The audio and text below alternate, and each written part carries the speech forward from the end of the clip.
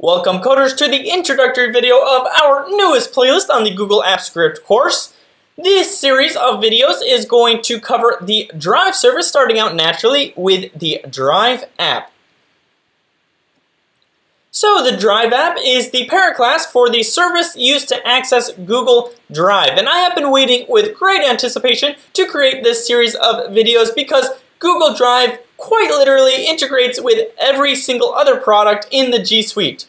So if you haven't noticed already, Google Drive is a file storage system, again for the G Suite. You can upload files to it, you can sort those files and organize those files in a hierarchy of folders, and that is extremely powerful. But that is not all, because you can, obviously you can put your G Suite files in there. So if you have Sheets files, or Slides files, or if you have Docs, you can all store that within the Drive app.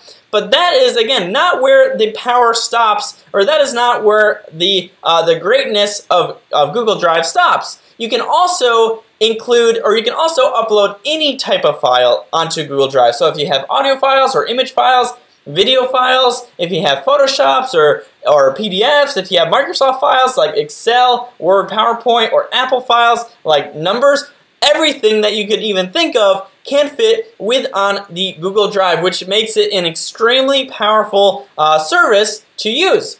So what are the common direct uses of it? Well, like I mentioned before, you can store files of any file type, and I added a little bit, I added a little asterisk to the statement because I wanted to mention that while you can store any file type on Google Drive, the storage capacity across Google Drive Gmail and Google Photos must not exceed 15 gigabytes. So if you have a lot of files and they amass to greater than 15 gigabytes, you cannot add those all within Google Drive, at least on the free tier. So everyone gets a free 15 gigabytes. If you want more storage, you can always pay for more storage, say on Google One. But uh, everyone with the free tier who wants to stay within the free tier has to stay within 15 gigabytes. You cannot exceed that across all of the files that you have stored.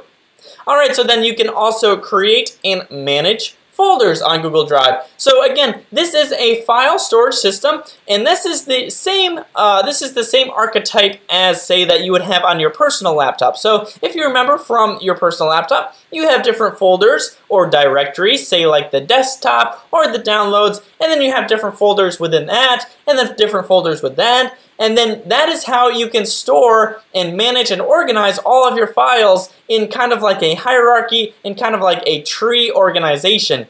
And again, that is what we're all familiar with, so you should have no problem understanding how this works as well in Google Drive. Alright, and then finally we can access Drive app enums. So again, if you needed to access any of the enums while you're coding in AppScript, and, and those are the enums on Google Drive, then you would access Drive app directly and then access those enums.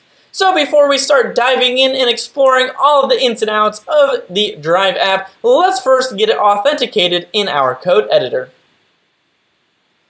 Here in the code editor with a brand spanking new project waiting for us to create some incredible things with the Drive app. First, we need to authorize our Drive app to work on our application. So the way to do that is to type in drive app, and then if we hit the period button, if we get this list of methods and enums, then we are doing it all correctly. If you don't get this list, then make sure you have everything spelled correctly, as well as the D and the A capitalized and everything else lowercase, because it is indeed case sensitive. So after you get this list, just uh, click on any of these methods. I'm just going to click on create file. This one looks pretty good. All right, so if I save it now and I hit the run button, then it's going to ask us for authorization. Again, we've seen this in all of our other playlists, so let's review the permissions. All right, we'll click on this account. It says the app isn't verified, it hasn't been reviewed by Google, so we'll go to advanced, we'll go to season 10 and it says Season 10 wants to access your Google account. This will allow Season 10 to see, edit, create, and delete all of your Google Drive files. But that is okay, again, because we are in control, we are writing all of the code, we know that there is nothing malicious in it. So we are going to scroll down and hit this Allow button.